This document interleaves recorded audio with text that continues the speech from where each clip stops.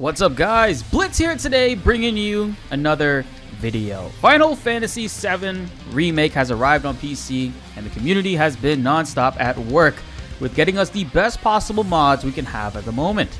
Now really, they've been pumping out some really amazing stuff from new skins, color swaps, gameplay balancing changes with more materia slots, and of course, old Curse Marlene with the side of Mick Despair to go with that. I can't wait to bring you guys more videos talking about the newest stuff and how to install them, and of course, showcasing them in action. But before we get into any of that, there are a few things that we have to do in order to get the game to run properly for everybody. It's no secret that Square Enix PC ports have been pretty bad over the years, and you would think that after Final Fantasy XV being a pretty solid port, that maybe they would continue with that trend. But no, they didn't. Final Fantasy VII Remake Intergrade on PC unfortunately was a super half-assed port. I love the game, I'm having fun playing it, but that's no thanks to the developers at all. I mean seriously, they released this game with only three graphical performance options in the menu. Textures, shadows, and resolution. Which, resolution scales the quality, but all of these options have very, very minimal and bare bones options within them. The community day one had to dive deep within the game themselves to figure out what in the world exactly is going on, and thankfully they did. I have those changes added to my game, and since then, seriously guys, it's been a complete night and day difference with them. So in this video, I'll give you guys a step-by-step -step breakdown on what we need to change first, and which mods are needed, and how to install them properly. Now with all that being said, let's get into this video. First things first, the DirectX 12 has not been doing this game or anybody any favors, and it's been running poorly and inconsistent for many viewers. Now keep in mind, everyone's machine will be different and vary between these fixes. I have a laptop currently while traveling, and this has 8 gigs of VRAM. It's a RTX 3080. This machine can run every game out the box perfectly fine, except Final Fantasy VII Remake. Even computers with 3090 graphics cards are having issues with running it. But one change that's been very consistent for many people, including myself, is disabling DirectX 12 and turning on DirectX 11 instead. You can do this by opening up the Epic Game Store client, click on your profile on the top right, then click on Settings. Scroll all the way down until you see Final Fantasy VII Remake Intergrade, expand it, and there is an option called Additional Command Line Arguments. Click this check mark and a text box will appear. Type in exactly this, dash DX11 all one word and all lowercase. Press enter and go back to the home screen. Now you can boot up your game and it will be in DirectX 11 instead of 12. This can help reduce stuttering and freezes, but is just the first step in getting this game to run good. There are more changes we have to do before you are good to go. Some notes to keep in mind though, with DirectX 11 instead of 12, HDR will not work and look very strange, but that I mean that's okay because HDR is whack anyways. But one other positive is that while you are in DirectX 11, more mods will consistently work when you have them installed. I had an issue myself where DirectX 12 was preventing me from running my hair mods and my eye mods, so that's something to keep in mind also. And if you have the Captain Jack Sparrow version of Final Fantasy VII Remake Intergrade, to change it from DirectX 12 to DirectX 11, you need to find the FF7 Remake folder, click Engine, binaries, third party, then EOS, and the Epic MU INI file in here. In here, you need to add dash DX11 to the end of app name line with a space before it. Save, and you're good to go. Now, I don't have the Captain Jack Sparrow version, so I can't really show it to you guys, unfortunately. So, uh, good luck with that. There are people on Google that explain it a little bit better, though. I just don't have any visual images and don't want to use theirs because people going around snitching on YouTube videos these days. There is another way to remove the stutters without turning off DirectX 12. This video below can help you guys with that. It requires you to use the NVIDIA control panel to change various settings for Final Fantasy VII Remake in the program editor. I tried this out before myself, and while it did work and reduce my stutterings, it did make my OBS recordings run really, really badly for me while playing the game. So this method wasn't great for me in my particular situation. But check out this video, shoutouts to this YouTuber below, Link is in the description and also pinned in the comments below. Okay, finally, the Prime mod everyone needs to install because it's really messing everything up disabling dynamic resolution. This has been the number one mod on the website since day one, and rightfully so, it's a game changer. So right now by default, Final Fantasy VII Remake on PC has a dynamic resolution function constantly changing with every frame.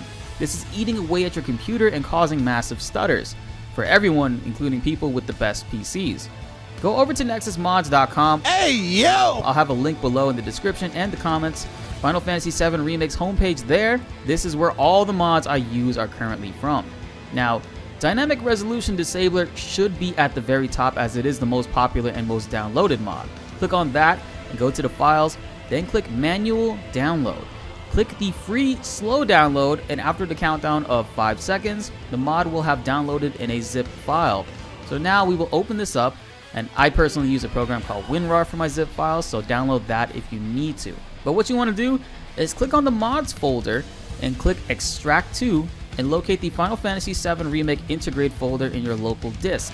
Program files, Epic Games folder, then click on remake, end content, packs. When packs is highlighted, click OK, and now you can go check and see this new folder is there. And now going forward for all your mods, when you want to install them, this directory, tilde mods, is where you want to put them. This way you can keep track of them a little bit better. Dynamic resolution will now be disabled and the game will run dramatically better. This next mod is the most important one and the easiest to activate. You have to hit that subscribe button because only 23.8% of people that watch and love our videos are currently subscribed. Guys, hitting that subscribe button is totally free and helps support the channel out a ton. But not only that, we are giving away two more codes of Final Fantasy VII Remake on PC. We just gave away one, and the winner was First Class Gamer, so shout outs to them. Longtime viewer and subscriber, yo, happy that you got this code, man. To participate, you have to be either a member on YouTube, Twitch subscriber, or a Patreon member. If you do all three of these, you will get three entries to win and increase your chances even higher. Any tier also works for this guy, so feel free to subscribe to the lowest one. Links are below in the description and the pinned comments, and the next winner will be chosen live on the next stream. But not only that, subscribing will help you guys stay up to date on the latest news when it comes to showcasing new mods, how to install them, and everything relating to Final Fantasy VII Remake. We have a good time coming our way, guys, and you won't want to miss out on any of it. For some people, these two fixes will be enough, but for others, there may be a little bit more issues. I have something else for that, and it's probably very, very important that you guys do this because Square Enix ain't doing us any favors right now. But it's going to require some personalization on your end because, like I said, everybody's computers are different. On Nexus Mods, we're going to be getting the Final Fantasy VII Hook, INI, and Dev Console Unlocker. After downloading, there are two different folders we're going to need to access.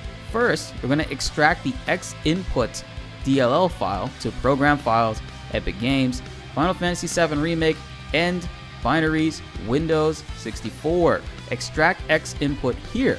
Now for the engine.ini file. We're actually not going to be using the exact same one that this mod comes with. I'm going to be providing you guys with my personal setup and one thing that you guys can tweak yourself just be sure to check below. There's a Google Drive link in the description and the comments for you all. We're going to need to change something first. And so for this change, we're going to have to go to Documents, My Games, Final Fantasy VII Remake, Saved Folder, Config, and now while in Config, we're going to right click and make a new folder called Windows No Editor. All one word. Now inside this folder, we're going to add a engine.ini file I uploaded to a Google Drive link in the description below. Now remember, these are my personal settings, and what this does is it allows us to bypass the horrible bare bones options for graphic enhancements, download it from this Google Drive link I made, and make sure you guys paste it within the Windows No Editor folder that we just made. After you've done that, now open up the INI file, and there's going to be a lot of confusing things in here I know in the notepad. But just know that 0 means off and 1 means on. Anything with a decimal like 0.5 has multiple values and settings. There are text paragraphs to the right to explain to you what each setting can do and what each increment changes. Think of this as a different graphical setting that you can make in, you know, normal, not half-ass PC games.